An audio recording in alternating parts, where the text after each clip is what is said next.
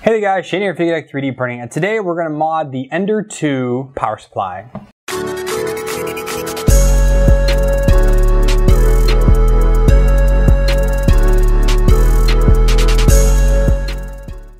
Welcome back guys. As I said, today we're working on the Ender 2 power supply, and I have to say, I did a whole big video on this already, and it's never going to be seen because it actually didn't work out the way I wanted it to.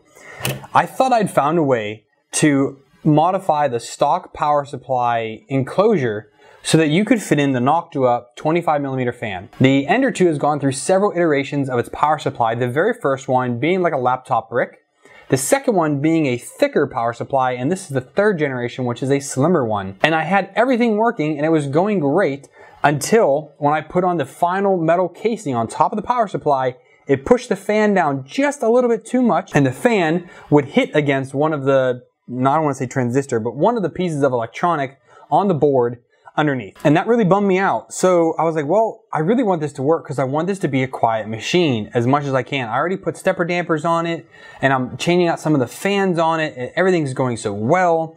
This just set me back. So what I've done here is taken a model on Thingiverse and I think made it better. I've changed out quite a lot. This is my version 4. This is the final version 5 here, printed on two different machines just to speed up the production, the productivity of my, um, of my shop, I guess. So the answer I came up with was this power supply enclosure. I found this on Thingiverse and I wanted this to do more than what the standard one was. The standard one, all it did was add in a switch, which sadly hasn't come in yet, but that's an easy thing to put in. And it uses an XT60 connector in order to connect the power to the actual printer. So you have an ICE plug that goes in here, a power switch, and then you have the uh, connection to the actual printer, which makes this completely modular power supply. Then I wanted to be able to mount this underneath the printer. So I went ahead and added on these tabs. And I also had to modify the feet that I found on Thingiverse in order to accept where these tabs are. As you can tell, there's only three here because the printer bottom is not square. It slices off on the one side. So this corner actually sticks out a little bit. Uh, some other things I did is I changed up the ventilation. Again, this is version 4, this is version 5. The final version, pretty sure the final version that I have now, I changed out some of the ventilation the way it was, added some ventilation to it, largened ventilation in it. I added here the four screws for the actual power supply and resized the hole. The hole in the original was too big because it's meant just to slide over the power supply. I wanted this to actually mount and fit the fan, so I went ahead and redesigned that. I also flipped the back part, which I think I did in this one, yeah. So between version 4 and 5, I actually flipped where the switch is because right now the switch is over top of your leads that you're going to hook up things to the printer if you would need to. I didn't like that. I wanted the switch power to be over the input to the power supply and the XT60 to be over here on the other side. I may add another XT60 or some other type of connector in there, or you can modify it yourself if you want to. I'll put up the Fusion 360 file for anyone to see. And if you want to add in hot, you know, lights that just plug right into here, you can do all of that with this power supply case. So a little more what I was trying to do. What I was originally trying to do is modify the power supply so that it could fit in there. I thought I had it, I didn't. So I went with plan B, which was again just to eliminate this enclosure, the upper half of it. And what I came out with was pretty nifty. So looking inside of there, see if I can zoom into there, you can see again the metal casing is gone. The fan is just mounted right to the case here itself and then hooks into the printer. It's kind of a weird way to put this in there. You actually need to slide the fan in there, slide this back casing on, and then hold the fan up and then screw it down. Once you get one of these screwed in, you're golden. Or you can set it down, hold on to the fan, it's actual, like the actual fan itself, and then put in two screws. Once you have one or two of them in, the other one's going without a problem. I left this open. If you want to leave it open, you can. Otherwise, on Thingiverse, you can find 60 millimeter fan shrouds. There are fan covers that you can just go ahead, put right over that, and you cover it up even more if you want. I may or may not do that. Um, let's talk more here on my more final version. So I, again, rearranged the back here. The AC in is over here on the AC side of the power supply. The DC out is on the DC side of the power supply. It just makes wiring a little bit cleaner. Uh, it's not crisscrossing like crazy underneath of there. I changed up, sorry, it's blue. Oh, it actually shows up on camera pretty good. Uh, I changed up and made these a little bit bigger here on the top to kind of pull air through. I added ventilation here to the side of the back and large ventilation back here. Most of this is blocked. It's just kind of to allow air to get into the chassis, the back end of it. Uh, I did not add anything more to the back except for two mounting holes over here.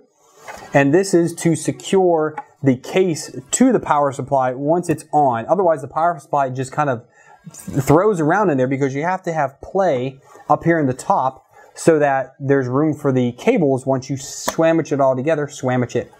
Once you sandwich it all together, you need some space for those cables to go and you can't have the power supply be exactly as big as this. So again, I went ahead and changed up and added those so you can actually secure this to it. All the feature on there secure this underneath your printer. And by securing this underneath, it really makes this a compact printer, almost like the footprint of a Delta printer, which is really small, especially when everything's included inside of it. It makes it a really compact design, which I really, really like, and that's what I really wanted out of this printer. I will say this, the model is super duper tight. I did up the size of the actual model itself from the guy that originated it. It was a little too tight in my opinion.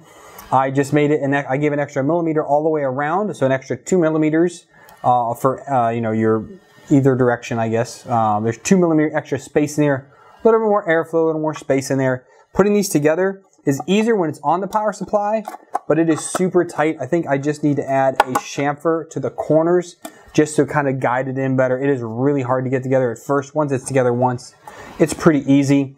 Again, you can mount your 60 millimeter fan in here if you wanted to. Again, you can modify the Fusion file, make this a larger fan if you wanted to. I think you probably could fit, if you mount it on the top, you could fit a 120 millimeter fan on there.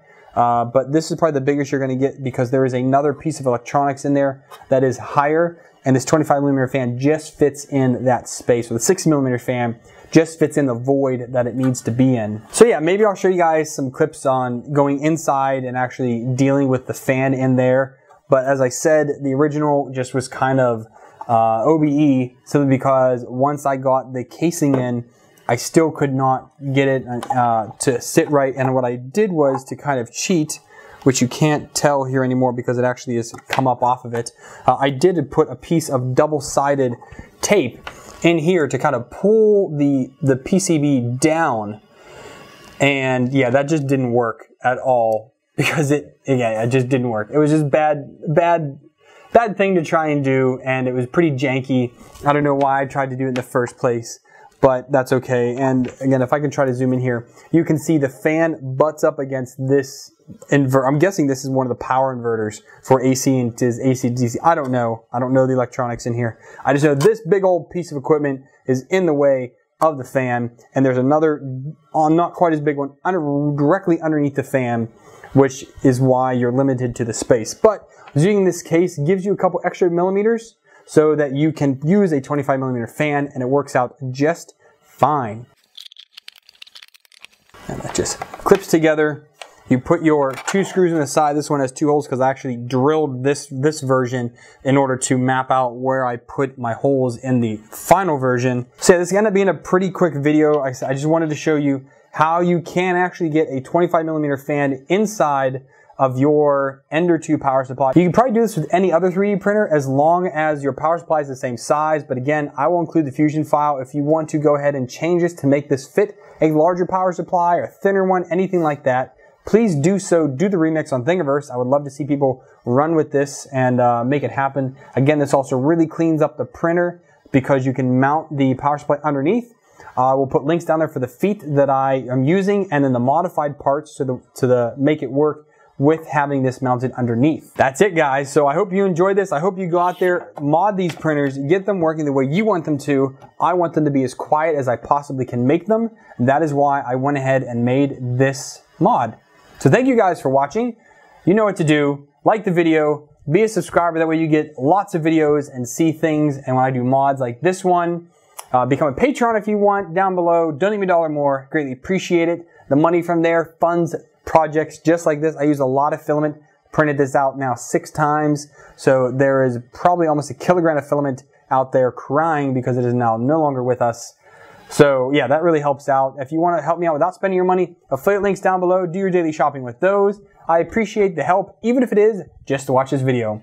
So until next time, guys, happy printing.